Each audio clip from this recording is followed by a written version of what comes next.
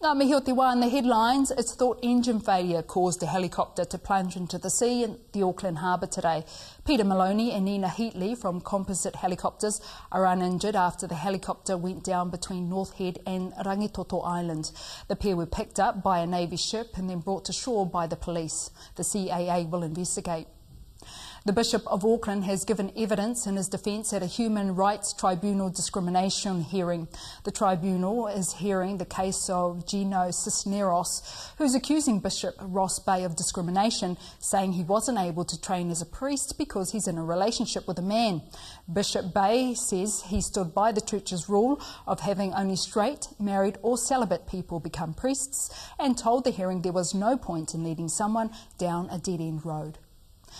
Hundreds of mourners travelled from the east coast today to bless Parekura Horomia's office and watch Parliament proceedings stop and MPs pay tribute to the much loved Ikaroa Rāwhiti MP. The Labour MP held the seat from 1999 until his death last week. Parties are now preparing candidates for the by-election. The Prime Minister expects it to be in mid to late June once formalities are completed. One of the men accused of assaulting cricketer Jesse Ryder is looking at getting the charges dropped. The 37 year old's facing two charges, one of assault, the other of injuring, while his 20 year old nephew has pleaded guilty to assaulting Ryder. Judge John MacDonald has continued name suppression for the two. The men will be back in court next month. And the government is sticking with Novopay in the meantime. Minister Steven Joyce says the long-term future of the system will stay under review. Mr Joyce says improvements from pay to pay have continued to be made. And disappointment from some Waihi residents at a decision to give the green light to mining under residential land in the town.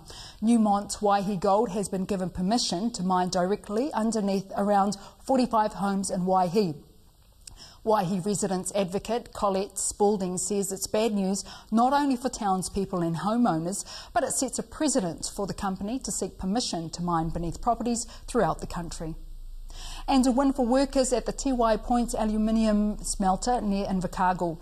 The Employment Relations Authority has ruled workers are owed back pay from their employer for annual leave they were entitled to but never received.